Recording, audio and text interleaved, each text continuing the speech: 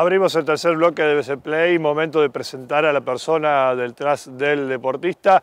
Hoy una mujer, en este caso hablamos de Estefanía Pallero, la entrenadora de, del outdoor running que, que, tenemos aquí en Villa Carlos Paz, que ha llevado muchos deportistas de nuestra ciudad que quizás no estaban muy ligados al running, más que todo en montaña, los ha llevado a conocer esta pasión y hoy por hoy estamos hablando, por ejemplo, de un Nico Hernández que, está deslumbrando ¿no? a, todo, en todas las carreras del país y ya se está haciendo un nombre dentro de la actividad y esto es gracias eh, en cierta parte a ella, ¿no? a Estefanía Pallero, que también tiene toda una, vida por detrás, que tiene todo eh, una actividad detrás de lo deportivo, se sabe que entrena mucho, todo el que la sigue en las redes sociales ve constantemente eh, cómo va subiendo fotos Steffi eh, de su entrenamiento, ¿no? no solo en el running, sino también en el CrossFit. Bueno, charlamos con ella, ella nos cuenta un poquito más sobre lo que fue toda su, toda su infancia perdón, en, en, el, eh, en Mataldi, en su pueblo natal, aquí en el sur cordobés, cómo llega a Villa Carlos Paz y lógicamente cómo se transforma en la deportista que es hoy. Bien, y aquí estamos con Steffi Pallero en eh, las instalaciones del Hotel Mónaco, aquí bueno, les agradecemos nuevamente por eh, permitirnos estar aquí. Steffi, buenas tardes y bueno, gracias por este tiempo. Buenas tardes, Walter. Gracias a ustedes por haberme invitado. Por favor, ¿todo tranquilo? Todo bien, por ¿Sí? lo menos, todo tranquilo. Bueno, en realidad iba a decir retomando la actividad, ¿no? Pero en realidad continuando la, la, la actividad deportiva se viene una carrera muy importante que tuviste la, la oportunidad de, de, de, terminar primera y ahora se viene algo mucho más grosso, ¿no? Que me parece que es el tope, al menos hasta ahora, de lo que conseguiste en tu carrera. Sí, tal cual. Sí, sí, ahora eh, en noviembre es, es, la segunda edición de esta, de esta misma carrera. Uh -huh. eh, y bueno, eh, actualmente como gané la primera, digamos, tengo grandes posibilidades y bueno, promediando las dos, las, las dos series, el ganador justamente de las dos es, se, se podría ganar, digamos, eh, el premio a participar de Spartan Race, que es una carrera de endurance con obstáculos en Miami. bueno, es, es, una, en realidad es una carrera muy conocida en el mundo, porque se, en realidad se compiten en series y en distintas partes del, del, del mundo. Y bueno, en Miami es una de las ediciones que, que se realiza y, y, hay tres distancias, 5 kilómetros, 13 y 21 kilómetros y cada una de ellas con obstáculos. Claro, ¿no? Claro. Eh, la de 21 kilómetros tiene 30, 30 obstáculos eh, y ese sería el premio. Veía el otro día, mm, no sé si es, era justo esta carrera, no lo vi así muy por arriba por, por Facebook, eh, en un lugar donde hasta levantaban bolsas, sí. eh, mediante, o sea, no solo son obstáculos de carrera, sino también diferentes pruebas en medio sí. de la misma Sí, son, no son obstáculos, digamos, en donde vos eh, tenés que solo pasar eh, por ahí, por decirte, un paredón eh, y, y, y, esquivarlo o algo así, sino hay obstáculos que son específicamente o de fuerza o, o de fuerza-resistencia, o sea que no solamente uno tiene que estar entrenado para correr, sino que además tenés que entrenar la fuerza, eh, el equilibrio, la estabilidad, eh, la coordinación, eh, o sea, necesitas un complemento de cosas para disputar justamente este tipo de carreras. Claro. Eso es lo, el desafío que tiene en realidad. Viéndote hoy donde estás parada, aquella Estefanía nacida en Mataldi, ¿no? en el sur de Córdoba. ¿Se imaginaba esa Estefanía tan chiquita en los primeros años esto o en realidad había, comenzaste con otro deporte? ¿Cómo fue tu, tu, infancia, en realidad tu nacimiento, tu infancia? Eh, sí, no, en realidad eh, yo arranqué a los más o menos 5 o 6 años, a los 6 años, eh, a jugar al vóley, porque bueno, mi localidad es una localidad del sur de Córdoba muy pequeña, en donde tiene 3.400 habitantes más o menos. Eh, y el único deporte que se practicaba para las niñas era el vóley y para los niños el fútbol. Claro, la clásica. Claro, la clásica pasa en los pueblos. Tal ¿no? cual. Entonces no tenía como mucha opción de, de, elegir un deporte que quizá me gustara o, claro. o de practicar algo que por ahí. Eh, o probar otra cosa. Entonces empecé con el vóley y llegué a jugar, jugar vóley federado. Eh, a jugar la Liga Nacional de Menores, uh -huh. que la verdad que es el deporte que, me, que, que amo porque lo hice desde claro, pequeña. Eh, y bueno, y después justamente por una cuestión de, de, edad y de que en realidad siempre dependía de, de, de, compañeras para poder llegar a competir y demás, entonces prefería hacer algo que fuera individual claro. eh, y de, esa manera me inicié, digamos, en lo que sería el running, ¿no? Eh, y bueno, sí, arranqué corriendo sola, sin tener ninguna idea, solo correr. Que en realidad ya lo hacía como una parte de acondicionamiento físico para el vóley. Claro, claro, como un complemento, digamos, del Exacto. Y después eh, también pasé por el atletismo, corrí en pista, llegué a correr en los bonaerenses en Mar del Plata. Eh, y después eso me llevó más que nada a correr en calle y bueno, y ahora actualmente la montaña, que, la verdad que me gusta mucho, me, apasiona. Eh, y bueno, y ahora está esta alternativa de las carreras endurance, que son correr justamente la parte de running, pero con obstáculos que por ahí tienen mucho que ver o están más ligados con el CrossFit. es una mezcla, digamos, perfecta esta carrera. Exactamente, es una mezcla perfecta entre dos disciplinas que si bien parecen muy diferentes, eh, en mi caso yo practico las dos y me encantan, entonces la verdad que creo que es la disciplina justa para mí en este momento. Claro, claro. ¿Hasta qué edad jugaste al vóley? Hasta los 22 más o menos, hasta los 22 años. Te dio, bueno, recién decías que eh, te volcaste más a algo individual, digamos, no tener que depender de, otros, ¿no? Pero a la vez cuando comenzaste con, con tu grupo de entrenamiento aquí en Carlos Paz, o sea, sos, terminás siendo vos la, que orquesta a todo un grupo de personas para entrenar, para salir a competir y demás, ¿no? ¿Eso te lo, te lo, dio el vole y el entendimiento de, un grupo, digamos, para lograr objetivos? Sí, yo creo que sí, está, está, está muy bueno que desde niños eh, uno se inicie eh, en un deporte que sea en equipo, ¿no? Porque te da un montón de valores. Por ahí lo individual también tiene sus cosas buenas que uno aprende a desarrollar, eh, digamos, entrenando individualmente o compitiendo individualmente. Pero el equipo tiene, te, inculca desde, desde, pequeño otro tipo de valores. Eh, y, bueno, o sea, eh, en realidad hoy en día entreno a gente y por ahí también, como, como deportista, estoy incluida en equipos y la verdad que me re gusta porque si bien el deporte es individual, eh, uno también es como que eh, genera un vínculo con tus compañeros y ya hasta podés llegar a tener una amistad tranquilamente. Eh, y está bueno porque también es una forma de motivarse, de automotivarse entre, el equipo, entre la gente que te, acompaña o que hacen la misma disciplina que vos. Y, y, bueno, si bien es individual a la hora de competir, pero está bueno, digamos, todo el proceso de entrenamiento y demás, hasta llegar a la competencia que se haga como un equipo y que sea con un conjunto de, gente. Claro, lo, terminás usando el grupo hasta como un cable a tierra también, ¿no? Porque me imagino que correr solo en la montaña eh, no debe, obviamente importa la parte física, pero mucho más la, mental, ¿no? Y a lo mejor sabiendo que tenés personas que están alentando por vos, lógicamente te hace, te hace, endurecer esa parte mental. Tal cual, eso sí, en la, la parte motivacional está muy bueno y por ejemplo en el, en el lado del running, y en el lado del CrossFit también está muy bueno porque por ahí el CrossFit eh, tiene una parte que es muy técnica y si uno entrena solo, por ahí, eh, digamos, eh, uno no tiene percepción de lo que se está equivocando, lo que está haciendo mal. Entonces, entrenar con un compañero está bueno justamente por eso, porque la otra persona puede corregir, te puede decir justamente en qué, en qué estás fallando, en tus falencias. Entonces, uno también con tu compañero crece y no te quedas ahí estancado eh, si por ahí entrenas individualmente, no solo. Ese es un punto a favor también que tiene. Claro, Bueno, ya vamos a hablar del CrossFit, del CrossFit porque, es lo último en lo que te metiste, digamos, y, lo que estás implementando eh, en tu carrera, ¿no? ese equipo de volei, que me imagino, como todos los pueblos, o sea, vas al colegio junto, haces volei junto, o sea, es del mismo grupo, digamos, que fue creciendo. ¿Seguís todavía en contacto con ellas? Sí, sí, o sea, éramos son mis, eh, mis amigas de toda la vida, o sea, es lo que vos decís, en un pueblo, o sea, nosotros hicimos el jardín juntas, la primaria junta, el secundario junto, inclusive tengo amigas en donde eh, compartíamos la tapia de por medio en, mi casa, vivíamos en el mismo barrio, entonces, o sea, compartimos toda la vida. Y, cuando voy obviamente a mi pueblo, sí, o sea, siguen siendo mis amigas y sigo en contacto con ellas si bien la distancia por ahí, cada una ya formó su familia, o sea, el contacto por ahí no es tan fluido del día a día, pero siempre estamos en contacto y es.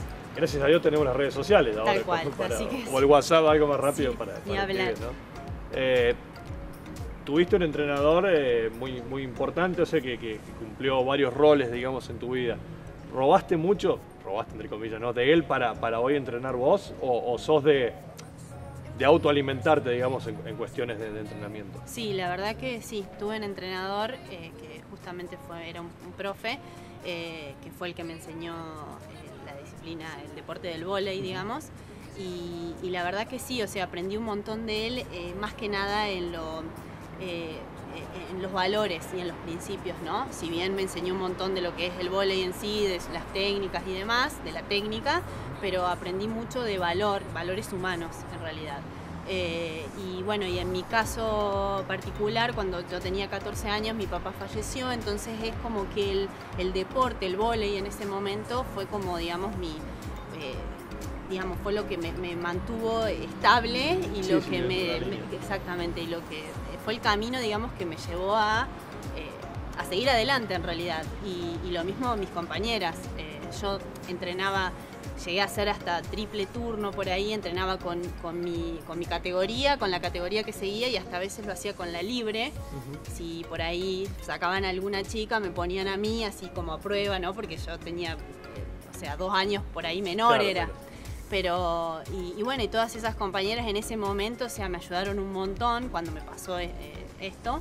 Eh, así que sí, o sea, guardo la verdad que los mejores recuerdos de, mi profesor, que la verdad que, lo admiro porque es una excelente persona, no solamente como profesor, y ahora quizá no tengo, o sea, no tengo contacto con él porque, bueno, justamente porque cada uno está en sus cosas, pero la verdad es que aprendí un montón de él y hoy en día que, también manejo gente, eh, básicamente más allá de lo técnico, lo teórico y demás, uno siempre busca eso, ¿no? que, que se sigan manteniendo los valores y los principios, porque eh, eso habla mucho también del deporte en sí, de, la calidad de vida que tiene el, deporte.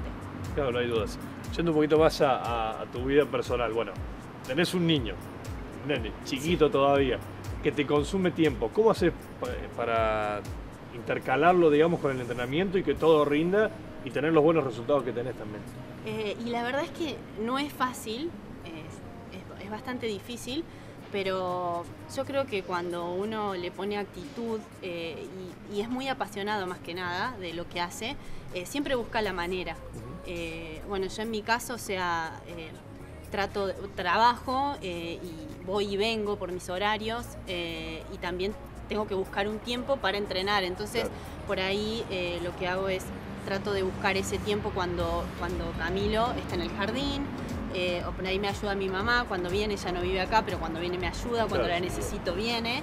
Y, bueno, y también con la parte de, la, familia del padre de Cami, también, o sea, es como que uno se va, digamos, acomodando y adaptando a los horarios para, para poder, eh, nada, entrenar y trabajar, ¿no? Y hacer, hacer, en mi caso, todo eso, trabajar y poder entrenar bien. Claro, no hay dudas me imagino que tenés una, en la parte alimenticia, es una dieta correcta al menos, no sé si, si tan estricta, pero correcta, ¿no? Eh, pero ¿cuál es tu comida favorita? o el eh, permitido que a veces da. Bueno, mis comidas favoritas son las pastas, definitivamente, las harinas, que ahora, bueno, justamente uno siempre trata de ser como su, su, no sé, su animalito de laboratorio y probar cosas, ¿no? Y bueno, ahora estoy tratando de ver, más que nada, no por lo estético, porque a mí lo estético nunca, no es lo que, me, lo que me importa, sino a mí me gusta, digamos, rendir en lo que hago y después quizá lo estético es consecuencia de eso, pero no es lo que primero busco, digamos. Eh, y bueno, justamente ahora estoy viendo de eh, eliminar un poco las harinas, pero no, no, por, no por lo estético, porque en realidad no me haría falta tampoco, pero sino por una cuestión de ver si, si puedo rendir mejor a la hora de entrenar. Eh, así que bueno, estoy ahí probando a ver qué pasa. Eh, y por ahí trato de, la, alimentación que tengo ahora de ser más proteica y eh, de eliminar más que nada los lácteos, los cereales y que sea todo más proteína, frutas y verduras. Claro, no hay dudas. Pero bueno, voy a poco. O sea, el arroz todavía no, porque es mi, claro, de poquito. mi cuerpo ya está acostumbrado a eso, así que bueno. Claro, sin duda. ¿Pero hay alguna una pasta en especial? alguna eh, Sí, me gustan, bueno, los, los sorrentinos son los que más me gustan. Eh, los ravioles también. Y los que no prefiero tanto son los ñoquis eh, pero también los puedo llegar a comer. sí, como que los ñoquis son medio insulsos, ¿no? Comparado lógicamente con el relleno, con sí, Sí, me gustan más las pastas rellenas, digamos. Claro, claro, no hay dudas. ¿Y comidas que odias o que no comes? No tengo ninguna comida así que, diga que no, no, me gusta o que no la comería. Eh, en realidad, cuando era chica no me gustaba mucho el, famoso puchero. porque no me gustan mucho las verduras así tan, tan vírgenes, digamos. Claro, sí, o sea, sí. le la salteamos o algo de eso, sí. Se le pone un poquito más de onda. Claro, Claro, pero igualmente te lo como, o sea, no es que no lo voy a comer. Sí, sí, sí. Así que sí. ¿Y, y cocinás? O sea, ¿sos de aventurarte en la cocina o solo lo limitado para decir, bueno, como hoy, come Cami y chao? Chao. No, no, no me gusta mucho la cocina, o sea, no soy muy amante de cocinar. Sí, obviamente que cocino y si tengo que hacer una comida elaborada para alguna ocasión especial, la hago. Claro. Pero, pero no es lo que más me guste la cocina, o sea, Bien. la verdad que no, pero sí cocino, o sea, y, y por ahí si tengo que hacer algo que nunca hice y probar de hacerlo, no tengo problema. Eh, pero no es lo que elijo día a día, digamos. No hay dudas, no hay dudas. Y, y en los tiempos libres, que son poco, como, como ya los decía, ¿no? Pre- ¿Preferís, o sea, sos de ver series, de ver películas, de leer? ¿O, Eh, o- me o no? Sí, me gusta leer, me gusta. Y, y me gusta eh, ver series y mirar películas mucho. Tele no miro casi nada. Mira. O sea, tengo tele en mi casa, pero por una cuestión de por Camilo, los dibujitos. Pero no soy de mirar tele, o sea, no de, de- de- poner noticiero, esas cosas nada. Y todo lo que es actualidad y eso, casi nada. También por una cuestión de tiempo, o sea, no tengo por ahí tiempo para sentarme y ponerme a mirar. Eh, pero sí, cuando tengo un tiempo miro series, me gustan series y las películas también. Me gustan Sí. mucho las películas de aventura y cosas. Es como, es como que se mutó a eso ahora, ¿no? A decir, bueno, tengo un ratito de tiempo libre en vez de sentarme a ver el tele, ya como que el tele Sí. tradicional quedó de lado, Queda de lado, exacto. Es para Va. disfrutar. Sí. Me decías de, de aventuras, algo más de acción. Nada No, tanto romántico, esas cosas. No, drama, lo romántico no, no me gusta. Para nada. Me gusta más la aventura así, eh, eh, tipo, no sé, aventuras escaladas, esas Mira. cosas que son por ahí historias reales. Eh, y después, bueno, también me gustan las películas bélicas o eh, las que me gustan mucho son las de suspenso y el terror también me gusta. Mira, está bueno, está bueno. El terror, hay momentos de la vida en que uno dice, nah, ya está, me aburren las películas. Pero después aparecen cosas Sí, interesantes. a mí ¿no? sí. No todas, ¿Sos, obviamente. sos Algún- miedosa, digamos, o, No, o no, no? no, no, no, me dan miedo. Me gustan más las películas que por ahí son casos reales, que, que es algo real, no tanto lo, lo- lo muy ficticio, no, no Claro. me gusta mucho. No va. Claro. Está bien, está bien. Bueno, ya para, para ir cerrando, eh, lograste muchas cosas en tu vida o en tu carrera deportiva, en realidad, ¿no? Y me imagino también ser madre, lógicamente es algo de, que me imagino, ¿no? Que una mujer o toda mujer en realidad debe, debe querer tenerlo, la mayoría es al menos. Eh, ¿Te consideras una persona afortunada que ya cumpliste todos tus logros que quizás te imaginaste? ¿Te faltan algunos todavía? La verdad es que sí me considero una persona, una mujer afortunada, porque sí es lo que vos decís, o sea, tener un hijo, o sea, por ahí mm, hay mujeres que no y está perfecto porque es una decisión de, cada uno, pero sí, la verdad es que tener un hijo es- puede ser una de las cosas más maravillosas que te pasen como mujer.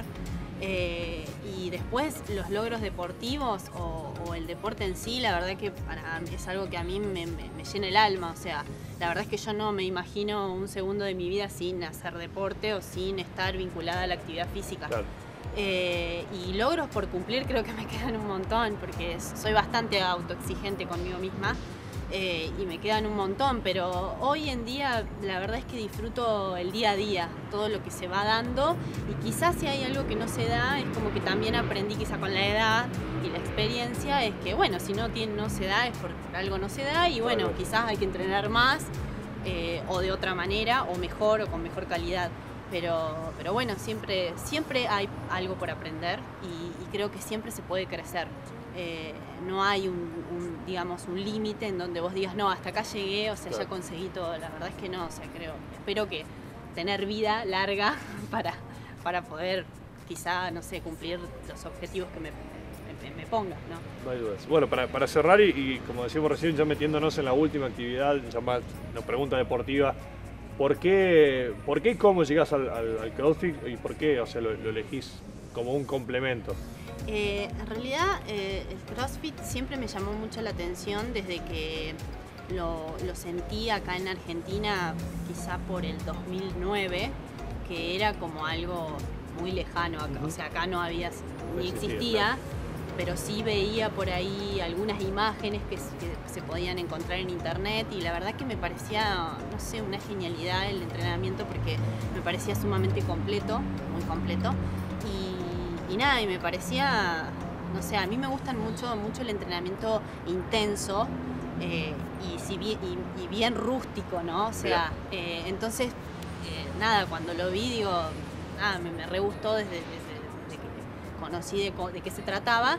Y, y, bueno, y lo empecé a practicar en realidad cuando, cuando conocí a mi entrenador, que es el coach que tengo ahora, uh -huh. eh, a Pablo Dutra, eh, que bueno, que él fue el que, digamos, realidad me, me, me, dio el conocimiento inicial para arrancar y, y, bueno, y ahí me di cuenta que sí, que en realidad no estaba errada, que claro. era lo que en realidad es, es, es excelente y que es sumamente completo. Eh, y así que bueno, así, así me inicié y, a, y, hoy en día, bueno, sigo y bueno, obviamente que me, recién estoy arrancando, digamos, o sea que me queda un montón, pero, pero no, la verdad no creo dejar, no hay claro, forma de que deje.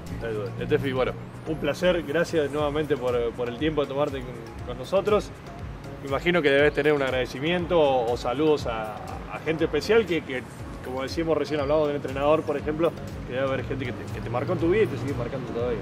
Sí, en realidad, bueno, sí, justamente le quiero agradecer eh, a la gente que en realidad he conocido en este trayecto, ¿no? En lo deportivo, porque cada una de ellas eh, me ha dejado una enseñanza, eh, entrenadores que he tenido, eh, siempre yo creo que fui más, más eh, alumna, más atleta que lo que fui entrenadora. Claro.